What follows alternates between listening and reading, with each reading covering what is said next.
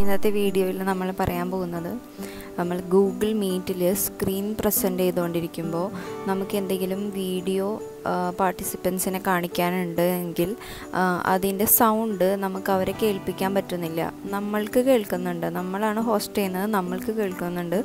പക്ഷേ ബാക്കിയുള്ള പാർട്ടിസിപ്പൻസിനൊന്നും അത് കേൾക്കാൻ പറ്റുന്നില്ല എന്നുള്ളൊരു പ്രോബ്ലം ഉണ്ടെങ്കിൽ അത് സോൾവ് ചെയ്യാനായിട്ടുള്ളൊരു മെത്തഡാണ് ഇവിടെ പറയുന്നത്. ഇപ്പോൾ ഫോർ എക്സാമ്പിൾ ഇപ്പോൾ ഞാൻ എന്റെ സ്ക്രീൻ ഇവിടെ പ്രസന്റ് ചെയ്തൊന്ന് കാണിക്കാം.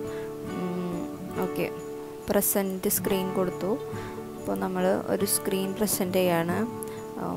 ഫോർ എക്സാമ്പിൾ ഞാനിവിടെ ഒരു വീഡിയോ സെറ്റ് ചെയ്തിട്ടുണ്ട്. അപ്പോൾ ഇത് നമ്മൾ റൺ ചെയ്യുമ്പോൾ ഇതിന്റെ സൗണ്ട് മറ്റുള്ളവർക്ക് കേൾക്കാൻ പറ്റുന്നില്ല. അതാണ് പ്രോബ്ലം എങ്കിൽ നമ്മൾ ചെയ്യേണ്ട കാര്യം എന്ന് പറഞ്ഞു കഴിഞ്ഞാൽ സ്റ്റാർട്ടിൽ പോവുക സ്റ്റാർട്ടിൽ പോയിട്ട് നമ്മൾ സെറ്റിങ്സ് എടുക്കുക.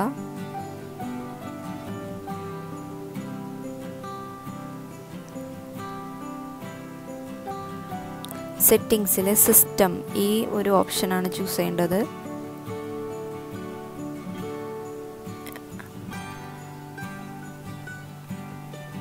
അതിനുശേഷം അതിൽ നമ്മൾ സൗണ്ട് എന്നുള്ളൊരു ഓപ്ഷനാണ് ചൂസ് ചെയ്ത് ചൂസ് ചെയ്യുക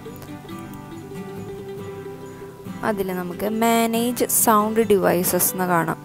മാനേജ് സൗണ്ട് ഡിവൈസസ് എടുക്കുമ്പോൾ നമ്മൾക്കിവിടെ സ്റ്റീരിയോ മിക്സ് എന്നുള്ളൊരു ഓപ്ഷൻ കാണാൻ സാധിക്കും.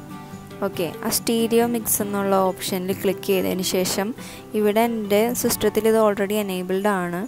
നിങ്ങൾ ഇത് എനേബിൾ ചെയ്യണം. ഇവിടെ ഒരു ബ്ലൂ കളറിൽ എനേബിൾ എന്നൊരു ഓപ്ഷൻ ഉണ്ടാവും. അതിൽ ക്ലിക്ക് ചെയ്തുകൊണ്ട് അതിനെ എനേബിൾ ചെയ്യുക പിന്നെ വേറൊരു കാര്യം കൂടെ ചെയ്യാനുണ്ട്. നമ്മളുടെ മീറ്റിൽ പോയിട്ട് ഈ ത്രീ ബട്ടൺസിൽ മോർ ഓപ്ഷൻസിൽ ക്ലിക്ക് ചെയ്യണം. ദെൻ സെറ്റിങ്സ് എടുക്കുക. ഇതിൽ ഇവിടെ മൈക്രോഫോണിന്റെ ഈ ഓപ്ഷനിൽ നമ്മൾക്ക് ഈ എരോ മാർക്കിൽ ക്ലിക്ക് ചെയ്താൽ കുറേ ഓപ്ഷൻസ് കാണാം. അതിൽ നിന്ന് സ്റ്റീരിയോ മിക്സ് എന്നുള്ള ഒരു ഓപ്ഷൻ നിങ്ങൾ ചൂസ് ചെയ്യണം. അതിനുശേഷം ഇവിടെ ഡൺ കൊടുക്കുക.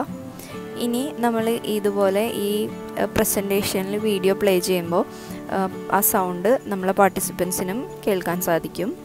ഓക്കെ ഈ വീഡിയോ നിങ്ങൾക്ക് ഉപകാരപ്രദമായെന്ന് വിശ്വസിക്കുന്നു. നിങ്ങൾ എന്റെ ചാനൽ സബ്സ്ക്രൈബ് ചെയ്യുക.